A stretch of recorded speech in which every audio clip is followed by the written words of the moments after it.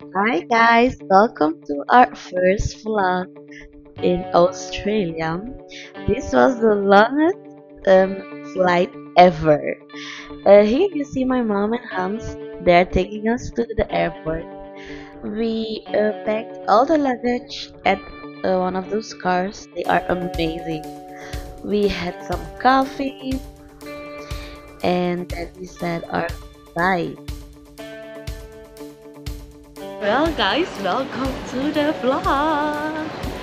We passed the check-in, the uh, how, how do you say it? The um, Security, but security, like really fast. Both of them. 10 minutes? No, yeah. Within Yeah. 10 minutes. Yes, I would say so. So, this is uh, our first flight. Yeah, we haven't been in the plane for a long time. A long time, a year. So,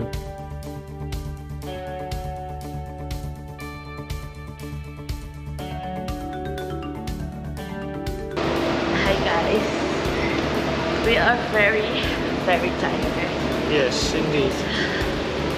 We didn't sleep at all, the plane. So, the second flight was uh, much better. We did sleep.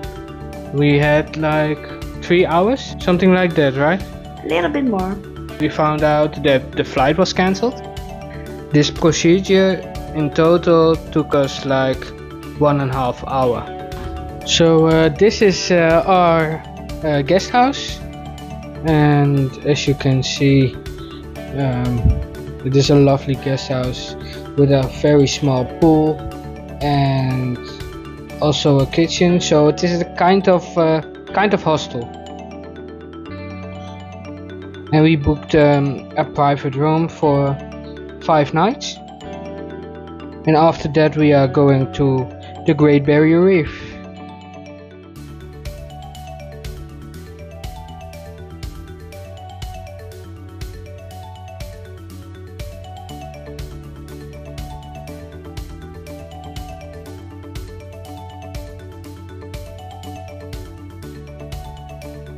we woke uh, up in the middle of the night like uh, 3 o'clock and decided to go to the grocery store at 6 o'clock.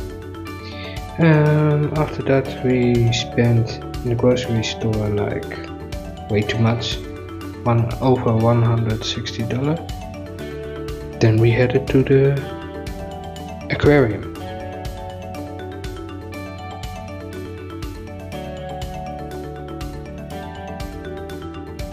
shopping mall. This is for the train, and behind it is the shopping mall. Um, as you know, in uh, Australia, the roads are the other way. So here it says, uh, look to the left because the cars come from the left side. It's different than in uh, the Netherlands. So on the other side, where Kilo is standing right now, it says look to the, the right. So now there's coming something there, but I don't have to look there. I have to look here. it is so weird. And here it says look to the right. That's funny. Hello guys. Welcome to the food court.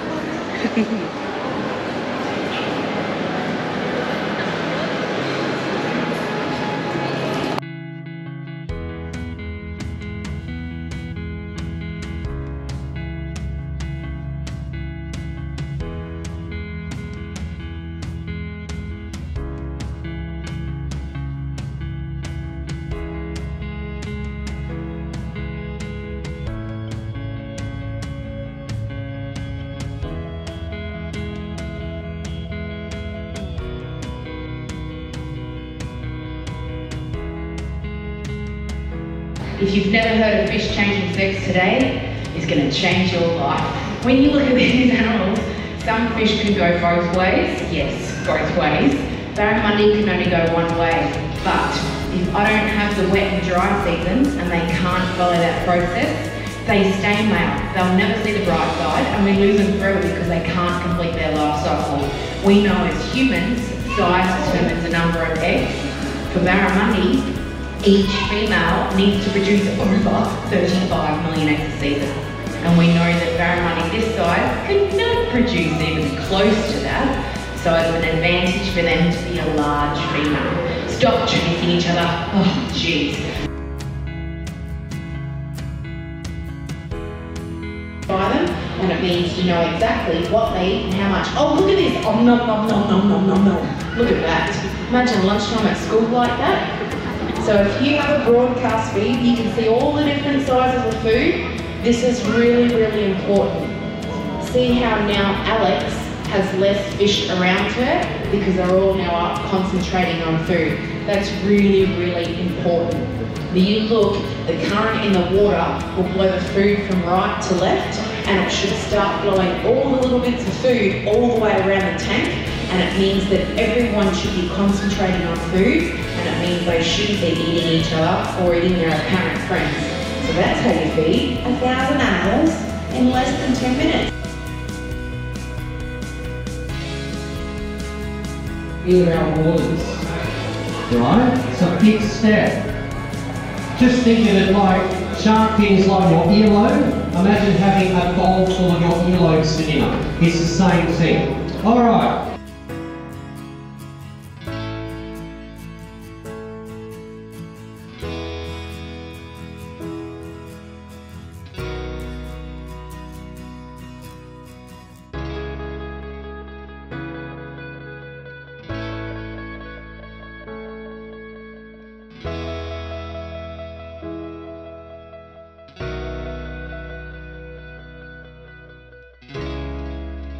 And then give it 20 minutes and it'll be completely different. It is incredible. You look at these animals and most of us know that lots of sharks and rays are nocturnal. So if I have nothing in the water stimulating them in the afternoon, these guys actually need to have a bit of a snooze. So my sharks and rays that are pelagic, hello darling, Stumpy's the cleverest camos of them all, when they have to have a sleep, they shut half their brain down and it's called a unihemispherical sleep. They pretty much sleep with one eye open. So they just shut half the brain down and go and then keep swimming and then wake up and shut the other half down. So when you look at them right now, see how alert they are. 20 minutes time, you watch and they'll just be like, Dum. it's really interesting. Here I am showing you my uh, lip bleeding. it's such an action for me. Um, I couldn't see the glass clear. Um, I thought it was more hollow, so I went like really fast onto the glass trying to look, but my lip and my teeth came um, really hard to the glass, so my lips started bleeding a little bit and I was showing you that I'm alive, I'm okay, it's all good.